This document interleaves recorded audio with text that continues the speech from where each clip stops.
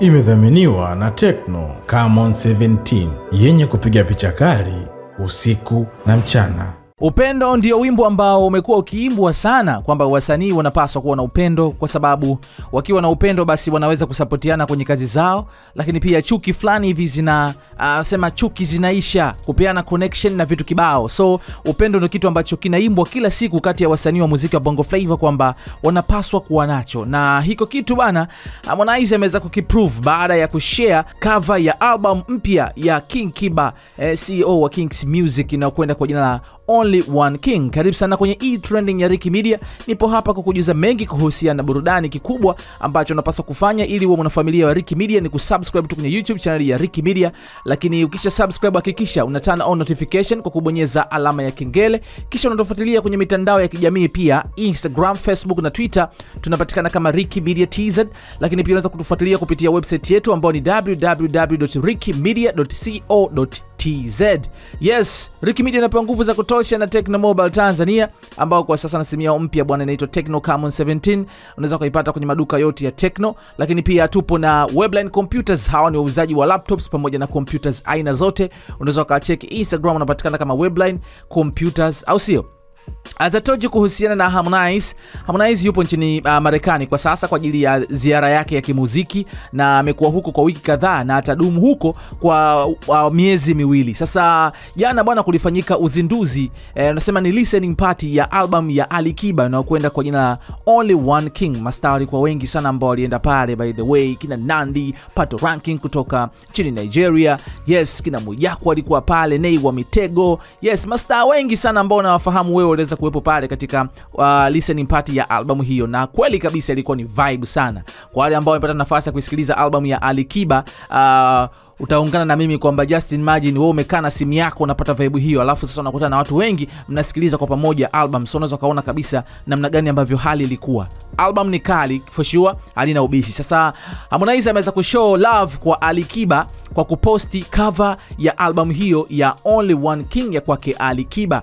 Ukipita kwenye Insta story ya Harmonize ameposti cover hiyo na kuandika maneno haya mafupi tu, big tune, afu akaweka na emoji ya king eh, mtu fulani kavalishwa king, yani hapa namaanisha kwamba muziki eh, mkali sana uh, mfalme. So Harmonize amempa shout Alikiba eh, kwamba album ni kali na mziki fulani hivi mzuri. Kwa mtu ambaye umeweza kusikiliza album hii fushua kabisa hautopingana na mimi kwamba album ya Alikiba ni kali. Of course ameimba bongo flavor, ile pure bongo flavor ambayo tumekuwa tukiililia kila siku eh, kwamba wasanii wetu waimbi bongo flavor na nini na nini, mama piano amekuwa mengi. Sasa Alikiba ameileta bongo flavor katika ulimwengu huu wa kisasa, ulimwengu ambao watu wanatamani kufanya muziki wa nje, yeye kaamua kuimba muziki wake eh, wa Tanzania, kuiwakilisha Tanzania uh, vizuri kabisa kimataifa. Tunafahamu fanbase ya Alikiba ni kubwa sana, na hivyo muziki wetu wa Bongo Flava utazidi kupiga hatua kwa kile ambacho amekifanya kupitia kwenye album yake ya uh, Only One King. So Harmonize ameshow love na hii imekuwa surprise sana kwa watu, kwa sababu tunafahamu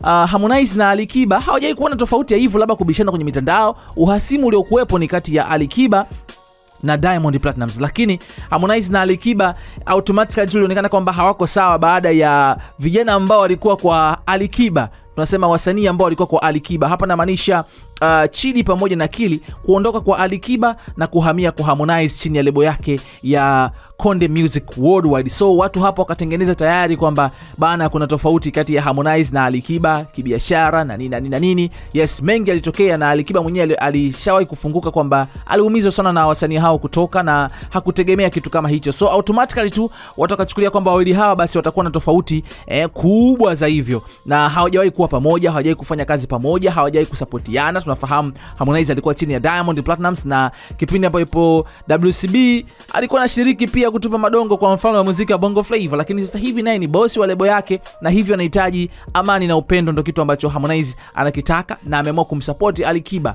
Fanbase ya, uh, ya Harmonize ni kubwa sana, hivyo hata kumposti pale kiwalisia, hata kama ulikuwa shabiki wa Harmonize au mpendi labda Alikiba, basi automatically tunaona mbona nikaangalia? Mbona hata Harmonize kamposti? Mi ni nani sasa nigome? Yani mi nimshabikia eh, siposti uh, siposti au sijaisikiliza album alafu yeye mwenyewe bosi yeye yeah, ameposti. Acha na mimi nikaicheki. So huu ni upendo ambao wasanii wote unapaswa kuwa nao kusapotiana kwenye kazi zao. Unaweza ukacheki pia uh, baadhi ya matukio ambayo yalijiri jana kwenye uzi, uh, listening party ya album hiyo ya the only one king, uh, only one king ambayo inapatikana sasa kwenye digital platform zote. Leo hii oktoba 7 2021 imetoka rasmi unaweza ukaipata huko kote mi naitwa riki kisa lale san bye bye ratiba zake. Kila msanii ana ratiba yake, kila kwa lazima tuheshimu kitu ambacho atatueleza. Tumekwenda kufanya kazi na msanii, lakini labda ratiba yake yeye yuko Europe, tutabidi tumsubiri. Umenisikia bwana? Itabidi tumsubiri aweze kurudi ndio tuweze kufanya naye.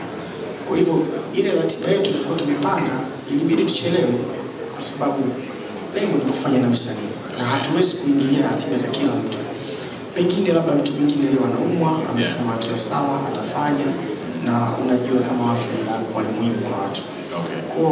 kwa tuweza kutusogeza mpaka tulipofika leo hapa na mastering na nini. na wengine kimikataba kupata zile rights na nini ni lazima tuandikishiane eh, waweze kuridhika. Kuna wengine kuna agreements zingine zimekwenda tofauti, kuna wengine wanataka collaboration kuna wengine wanasema tukifanya nyimbo lakini mimi nyimbo yangu nahitaji tufanye na video. Lakini vile vile hiyo ndo hizi anaweka tu rules zake ni hivyo hiyo Okay. itabidi pia ukubaliane. Sawa. Hicho ni kitu ambacho kilitufanya mpaka tukachelewa mpaka leo lakini naona huu ndo muda sahihi. Au sio bwana? Asante sana king ali kiba. Na kabla ya kuanza kucheza ngoma ya kwanza of course tunayo intro. Kwa hiyo mabibi na mabwana tupe attention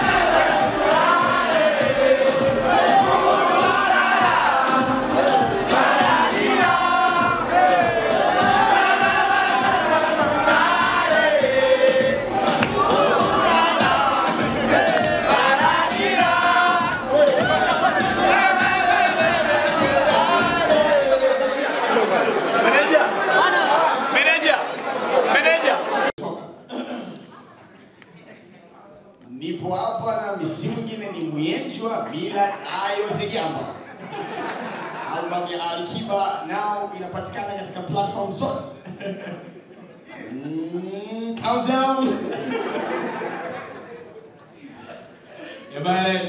sana sana tena sana kumwona my brother in the house kutoka Clouds Fame, of course legendary kazi Adam. Kwa heshima na taadhima my brother kutokea chama XXL, naomba kukupa bahasha utaje track track tatu, of course Adam ana track moja kati ya hizo tatu. Track number na jina. Uh, thank you for the opportunity. My brother Malaika. Featuring Nyashiski, Temya